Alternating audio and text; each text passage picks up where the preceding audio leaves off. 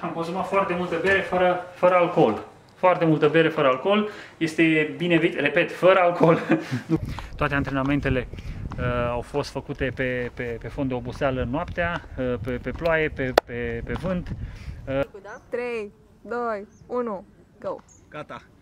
Salut, sunt Franța Adrian Diaconescu și tocmai urmăriți un nou episod al emisiunii Training Days. Când ne gândim la alergare, ne gândim să facem și noi 5 km, 10 km, 21 sau poate un maraton. Hai să zicem că unii dintre noi sunt mai îndrăzneți și fac ultramaraton. Ei bine, invitatul din această emisiune a alergat nici mai mult, nici mai puțin de... Te rog, puneți bine centura să fii sigur că nu cazi pe spate. Vorbim despre 47 de zile de alergare și 19 ore și vorbim despre 5.000 de kilometri, adică aproape 105 km pe zi alergat Nicu Buceanu. Nicu a terminat pe locul întâi competiția și da, în momentul în care filmăm uh, această emisiune, Nicu este deja acasă, iar ceilalți încă sunt pe traseu. Hai să vedem povestea lui Nicu.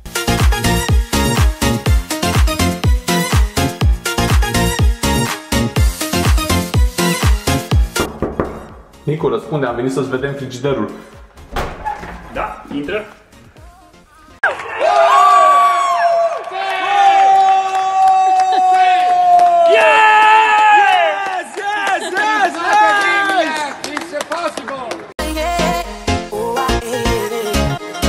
Bună ziua, dragilor! Nicu, oamenii încă mai alergă la competiție. Uh, da, știu, suntem cu ochii pe clasament, am urmărit uh, uh, tot ce s-a întâmplat în ultimele 12-13 zile de când am terminat eu concursul. Eu cu Alisa tocmai ce ne-am întors de la Brașov, Sibiu, am fost într-o mică refacere și încet, încet refacerea decurge spre bine. Dragilor, înainte să deschidem frigiderul, aș vrea să vă rețin atenția cu 30 secunde în care vreau să-mi prezint uh, trofeul, uh, masa cu trofee și locul unde îmi țin eu medaliile. Sunt uh, peste 25 de ani de, de atletism, sunt peste 25 de ani de muncă în care mi-am depus, am depus foarte, foarte mult efort, emoție, sacrificiu, Eh, dar mai bine vă arăt eh, totul de la fața locului. Urmați-mă!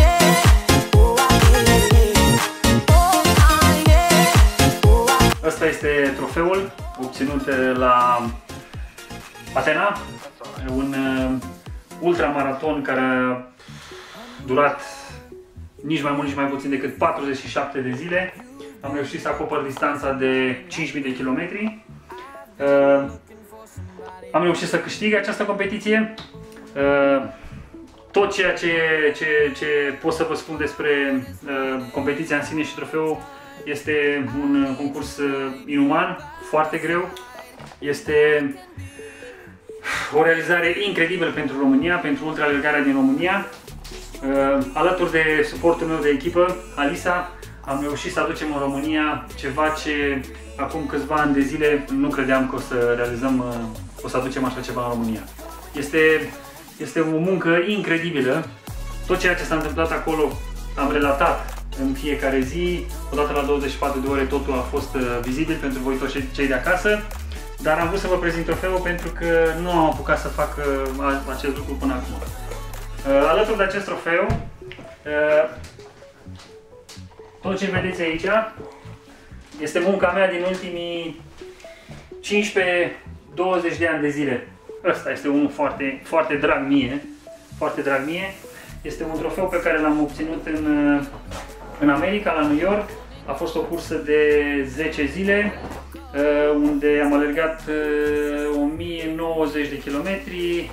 La timpul respectiv a fost un record național. Uh, în Atena am reușit să bat acest record. A fost un concurs foarte greu, foarte, foarte, foarte greu din cauza vremii, vremii de afară. Nu am avut suport de echipă cu mine. În ciuda faptului am reușit să termin acest concurs și am fost uh, foarte, foarte mândru că am reușit să uh, aduc un nou record pentru, pentru România. Acest trofeu l-am obținut anul trecut, tot în Atena, uh, scrie și pe el, în cursa de 1000 de mile, am fost primul român care am reușit să termin distanță, să alerg o distanță de, de 1000 de mile. Uh, am ieșit pe locul 2. Uh, am avut ceva probleme medicale în, acea, în această competiție, dar uh, în ciuda faptului că am pierdut uh, foarte mult timp prin accidentare, am reușit să termin competiția și am fost foarte, foarte, foarte bucuros.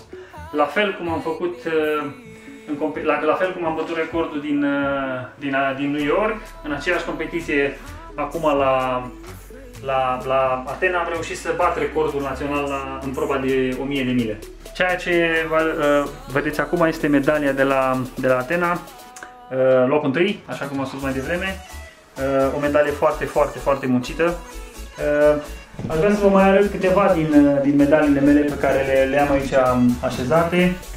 Sunt foarte multe competiții interne și internaționale uh, de-a lungul unilor 10-15 ani de zile. Dragilor, să deschidem frigiderul.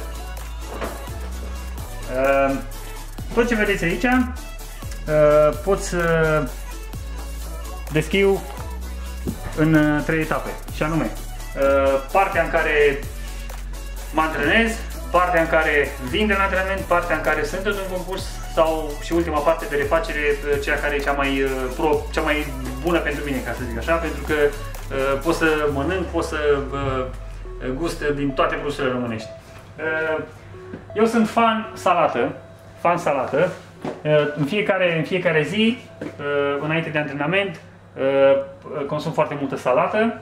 Uh, se vede foarte bine roșii, uh, uh, avem aici salată uh, din piață, uh, ridichi, uh, în toate salatele pe care le mănânc uh, consum foarte multe măsline, brânză și ouă fierte. Uh, bineînțeles și ceapă, ceapă românească. Uh, Alisa îmi gătește în fiecare zi uh, și aici aveți două, două exemple. O, o porție de carbonara, este preferata mea. Avem o porție de supă, la fel este uh, preferata mea și salata despre care v-am vorbit. Uh, foarte multe fructe consum și pot spune că undeva la 10, poate chiar 12 fructe pe zi uh, consum zilnic. zilnic. La tot ce înseamnă lichide, eu sunt fan apă minerală.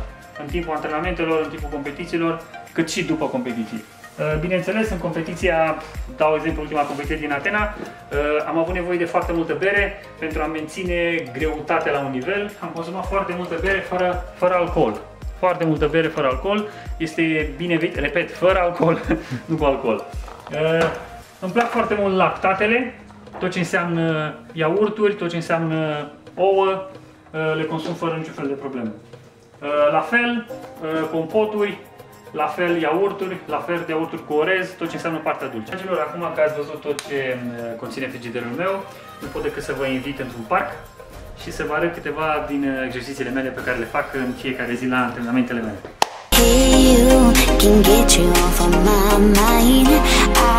Parcul Tineretului este locul uh, meu preferat. Aici mă antrenez din anii 90. Uh, este un parc foarte mare, foarte bun pentru uh, a-ți uh, începe o alergare, pentru a începe o încălzire. Uh, așa că să nu mai stăm foarte mult la, la discuții, să dăm drumul la alergare.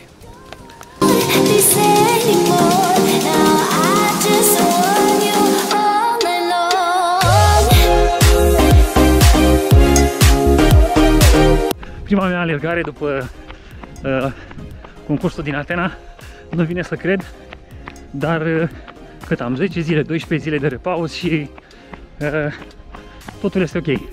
N-am uitat cum se, cum se aleargă și uh, mă simt foarte bine.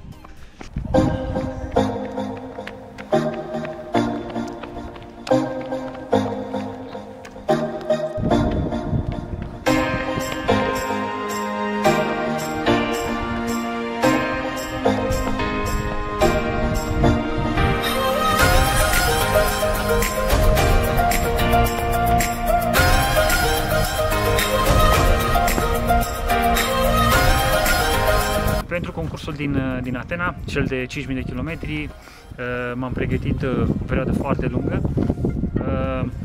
undeva la 3 ani de zile pot să zic că mi-a stat mintea numai la acest concurs, dar concret m-am antrenat undeva la un an de zile toate antrenamentele s-au desfășurat pe fond de oboseală, ceea ce recomand tuturor care vor să se apuce de ultraalergare.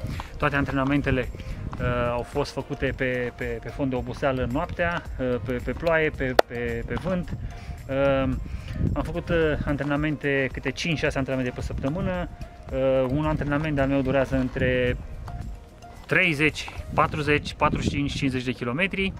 Uh, tot timpul le fac indiferent, uh, indiferent de, de starea care, care mă aflu, indiferent că din punct de vedere psihologic uh, sunt obosit, indiferent că am o zi mai bună sau mai rea, gândiți-vă că și noi suntem oameni. Să alergăm 5.000 de kilometri nu este ușor, dar totul uh, capeți prin antrenamente. Nicu, mulțumim frumos că ai fost alături de noi în emisiune și în final noi obișnuim să invităm lumea la o provocare. Ce părere ai? Da, sunt de acord. Bun un plank uh, challenge pentru tine va fi perfect pentru core-ul tău. Dacă da? nu ține mai mult de 47 de zile, cred că mă descurc. Hai să vedem ce facem. Aici? Aici am, avem eu poate aici. Aici. Gata? 3, 2, 1, go! Gata. A început uh, oficial plank contestul alături de Nicu. Nicu, Gata. Ai ridicat frumos? Da, am ridicat okay. în poziție. Ce mai faci? Ah, bine, foarte bine. bine Chiar hai foarte să, bine. Hai să vedem cum O cafea, un cappuccino. eu, eu pot, nicio fel de problemă. Bun. Maraton sau ultra? Ultra. Jacuzzi sau sauna? Uh, sauna. Antrenament dimineața sau seara? Dimineața la prânz și seara. Cardio sau forță? Cardio. E biceps sau picioare? Picioare. um, antrenament cu greutăți sau cu greutatea corpului? Greutatea corpului. Popcorn sau nachos? Popcorn. Carne sau vegetarian? Carne. Ce sportiv ai vrea să fie partener de antrenament? Uh, sincer, mentorul meu, uh, Vlad Tănase. Um, dacă nu ai fi fost sportiv, ce crezi că ai fi făcut? Uh, sigur m-aș, fi apucat de, de atât, sigur. Super, mulțumesc! That's all right.